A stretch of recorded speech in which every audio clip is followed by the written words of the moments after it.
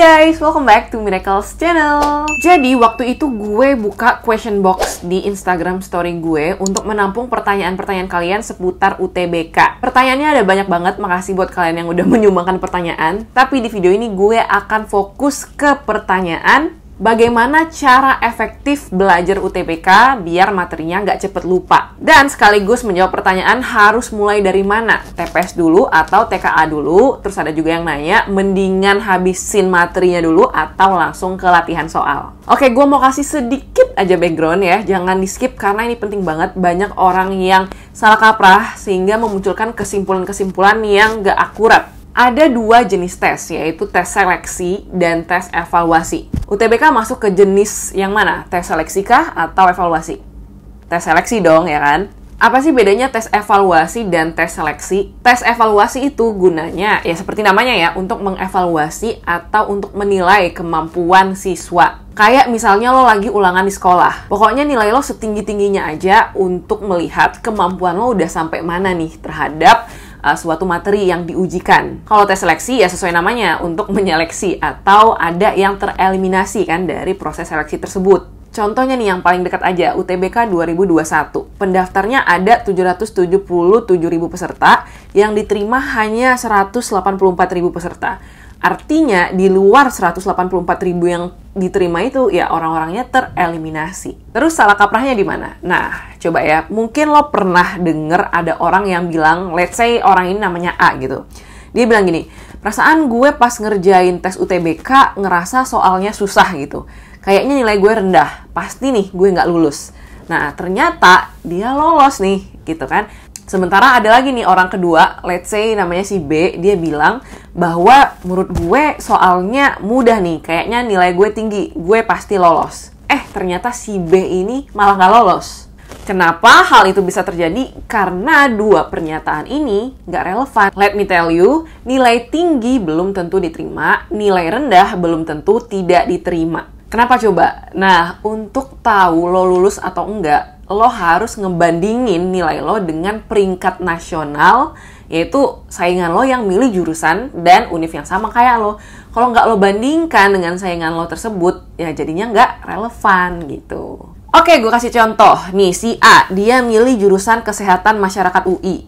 Si B memilih jurusan FKUI. Si A ini, let's say nilainya 60% ya, si B 90% memang dari nilai ini kita bisa lihat lebih tinggi nilai B.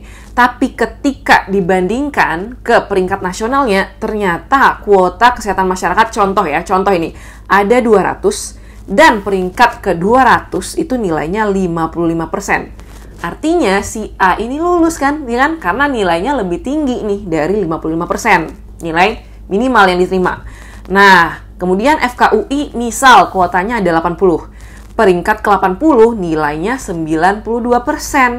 Artinya si B nggak masuk ke dalam 80 nilai tertinggi gitu. Makanya dia jadinya nggak lolos. Ingat guys, saingan lo bukan semua orang yang ikut UTBK senasional, tapi saingan lo adalah orang-orang yang memilih jurusan dan universitas yang sama kayak lo. Misalnya lo mau masuk FKUI, ya saingan lo adalah semua orang seluruh Indonesia yang memilih FKUI juga. Jadi intinya apa? Ya lo nggak usah julid atau heran-heran kalau ada orang yang ngakunya banyak salah atau nggak belajar tapi lulus UTBK. Karena lulus atau enggaknya seseorang itu ditentukan dari peringkat nasional atau dari saingan-saingan mereka. Selain itu, lo juga harus udah mikirin nih dari sekarang strategi dalam memilih jurusan biar peluang lo keterima makin gede. Tapi tenang aja, misalkan sekarang lo ngerasa lo nggak tahu apa-apa, tapi mimpinya pengen masuk PTN top, santai bos, karena waktunya masih banyak. Lo masih punya banyak waktu untuk mempersiapkan UTBK tahun depan. Makanya sekarang adalah waktu yang tepat untuk lo memulai. Oke, jadi lo udah kebayangkan cara kerja tes seleksi ini bagaimana dan seberapa ketatnya persaingan UTBK. Sekarang kita akan menjawab bagaimana cara belajar yang efektif untuk UTBK. Lo tau pohon nggak? Ya masa sih nggak tahu pohon? Nah, jadi belajar yang efektif itu dimulai dari akar terus ke batangnya. Kalau kata Elon Musk, make sure you're building a tree of knowledge.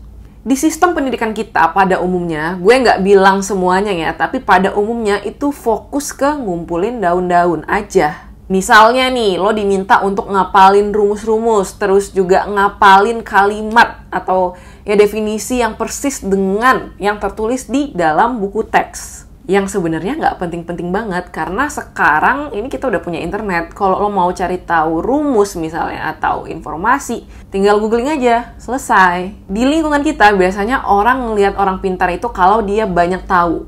Pokoknya di kepalanya tuh banyak banget datanya gitu kan. Padahal yang lebih penting bukan what to think-nya, bukan isinya, tapi how to think. Ya, gimana caranya dia mikir. Terusnya kita nggak fokus di ngapalin rumus luas lingkaran, tapi dilatih buat mikir. Kenapa sih rumus lingkaran itu VR kuadrat? BTW kenapa rumus luas lingkaran VR kuadrat udah pernah gue bahas di Mira Tematika, lo cek aja ya, oke? Okay? That's why banyak dari kita yang udah belajar tapi ya abis itu lupa lagi dan lupanya cepet gitu karena kita fokus di collecting the data. Kita mungkin nggak menghubungkan data-datanya tersebut. Nah, itu dia ciri-ciri bahwa lo cuma ngumpulin daun-daunnya, tapi nggak membuat koneksi antara informasi yang lo terima gitu. Terus muncul dong pertanyaan gimana cara kita connecting the data, ya nggak? Caranya adalah dengan belajar fundamental skills terlebih dahulu. Nih ya, banyak anak SMA yang stuck pas lagi ngerjain soal integral, ya kan? And then dia baca nih bab integral baca baca baca pelajarin tapi kok tetap nggak ngerti ya kan kenapa itu bisa terjadi karena mungkin dia aljabar aja nggak paham gitu. Gimana dia bisa ngerti integral kalau aljabar aja nggak paham? Kalau aljabarnya udah di skip, ya atas-atasnya juga auto ke skip dong. Makanya belajar yang efektif itu adalah dimulai dari dasar. Ibarat main game nih, kalau lo lagi di level 3, terus lo mau nyampe ke level 7. Lo harus nyelesain misi dulu kan di level 4, 5, 6 kalau enggak, ya nggak bisa nyampe gitu ke level 7. Belajar juga kayak gitu. Sebelum lo ngerjain soal di level 7, lo harus lewatin dulu level 4, 5, 6-nya. Itu tadi yang lo udah skip-skip dari mungkin lo SD atau SMP. Udah lo skip. Akhirnya pas ketemu integral, jadi apaan nih? Ya, belajar UTBK itu penting banget banget banget dari dasar. Gue kasih tahu ya, lo jangan ngejar efisiensi waktu di awal, tapi fokus ke efektivitasnya. Mungkin lo mikir gini, ah udahlah gue belajar dari soal-soal tahun lalu aja. Terus kalau soal tahun depan bentuknya diubah total, lo mau gimana? Ayo, bingung kan?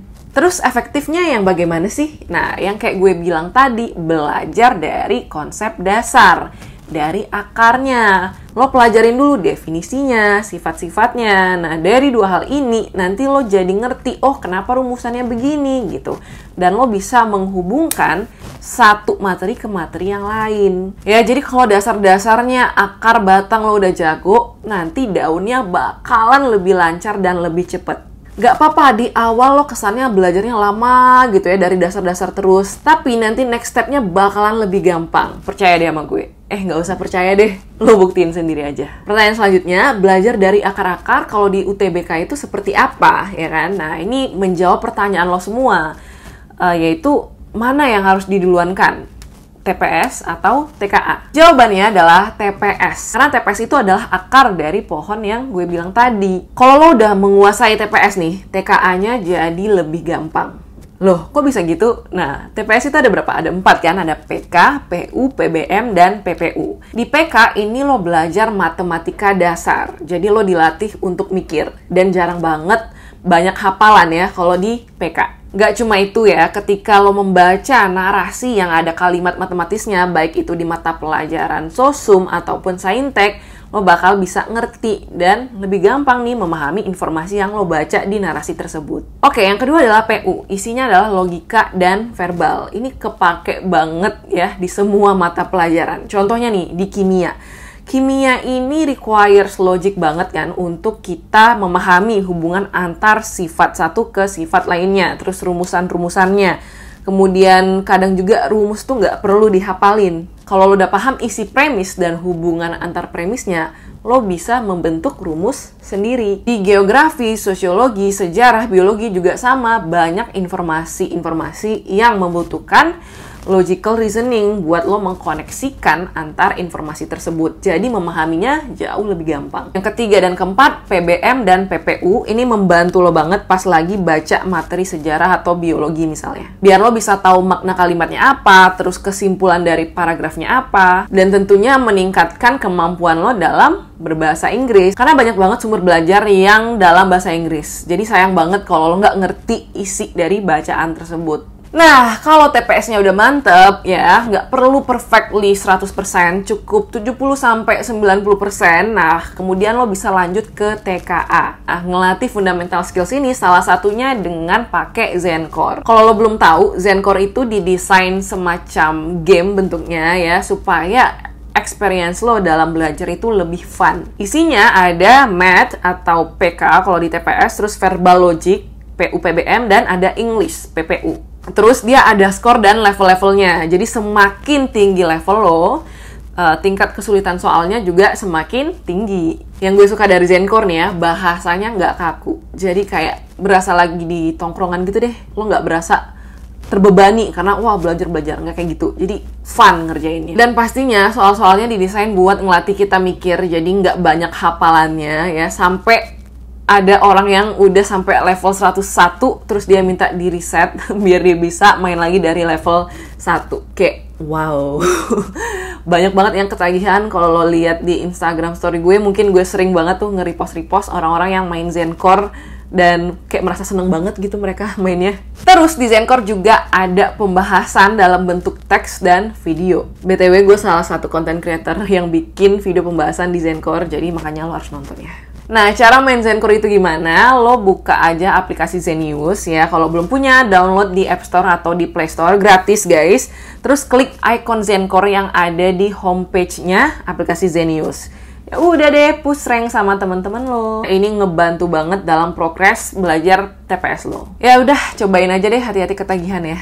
Oke, okay, to summarize this video, jadi belajar yang efektif itu dimulai dari menguasai akar dan batang sebagai fondasi yang kuat yaitu fundamental skillsnya terlebih dahulu, kemudian baru lo buat koneksi antar pengetahuan-pengetahuan yang telah lo pelajari. Oke okay guys, I hope you learned a lot from this video ya. Jangan lupa follow gue di sosial media at Miracle Thank you guys for watching. See you on my next video.